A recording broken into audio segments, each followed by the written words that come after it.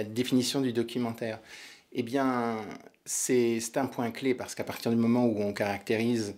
le, cinéma documentaire, on, clarifie un peu les, frontières à l'intérieur du genre et on, pose, on délimite, on,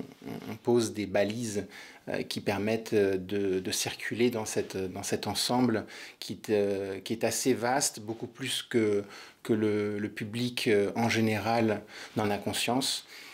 Et donc la définition est cruciale, elle est dans l'ouvrage le résultat de toute la réflexion.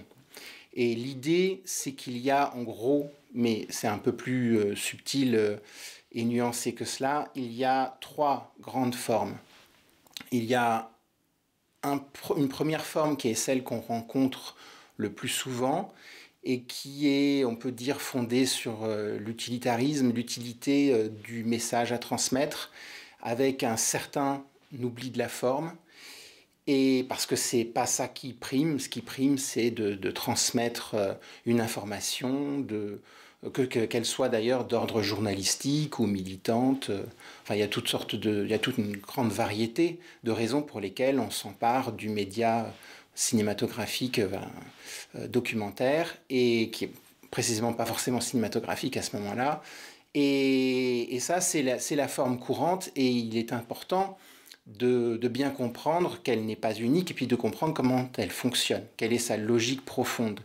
Parce que c'est une question d'autodéfense intellectuelle. Euh, le, livre est dans cette, écrit aussi dans cette perspective de pouvoir, euh, de pouvoir situer et donc de mettre à distance des, procédés, y compris des procédés de manipulation. Mais parfois, c'est même pas simplement une question de, d'une sorte d'intention de réalisation maléfique, pas du tout. C'est que le, la forme même du documentaire a pour objet de saisir pour euh, transmettre. Et dans ce processus, il y a quelque chose qui peut euh, être de, l'ordre du biais parce qu'on n'aura pas pensé à la, forme peut, que peut revêtir la, forme documentaire, le genre documentaire. La deuxième grande famille, euh, c'est celle que tous les théoriciens du documentaire, du cinéma, que les, cinéphiles, que les amateurs de, documentaires qu'on retrouve dans les, festivals, que les, cinéastes eux-mêmes vont privilégier. Euh, c'est un documentaire qui va, pour le coup, être euh, se distancier vis-à-vis de cette idée euh, de fournir euh, euh, une sorte de documentation véridique, justifiée, légitime, parce que s'insère dans le, dans, dans le travail de, réalisation une volonté de faire réfléchir, de, de ne pas être dans, dans une sorte de vérité définitive, de comprendre la complexité du réel et de la respecter, y compris dans la, dans la forme, sur le fond bien sûr, mais y compris sur la forme. Et c'est là que, que, que bah, l'histoire du cinéma documentaire nous offre quantité euh, d'exemples, de, d'inventions, de, de, surprises, euh, de, euh, de, de, de bifurcation par rapport à ce que, ce que peut être un, film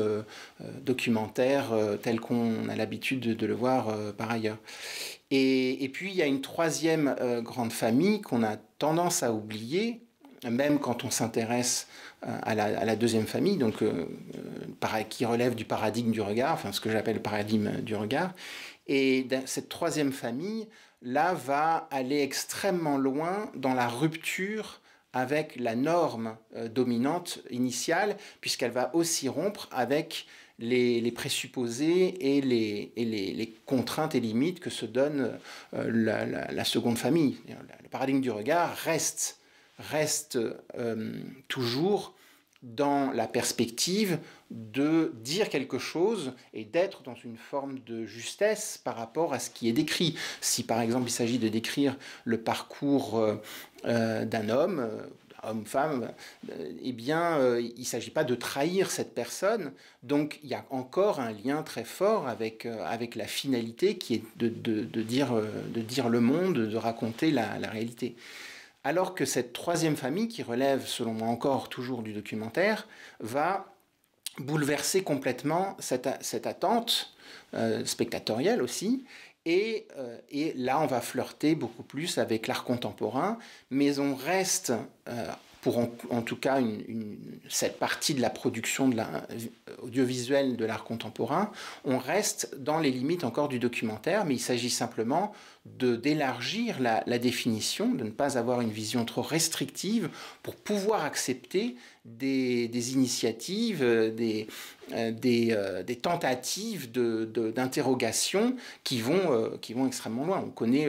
le, geste d'art contemporain qui joue beaucoup sur la provocation, sur le retournement, sur des, ruptures euh, considérables, eh bien, il se passe la même chose dans le, dans le domaine documentaire. Non pas que toujours les cinéastes soient, soient euh, des artistes contemporains ou des plasticiens, mais en tout cas, la, démarche peut être euh, une démarche de, y compris de jouer sur le mensonge. pour vous donner un, exemple, quand Chris Marker réalise un film avec, euh, sur le plan de la forme, tous les attributs du documentaire le plus courant, c'est-à-dire un documentaire euh, euh, qui serait fait par un, par un, membre du groupe. Alors là, ce sont des, réfugiés dans une ambassade. le film s'appelle L'ambassade. Et donc le, le, groupe est, est, est, réfugié parce qu'il y a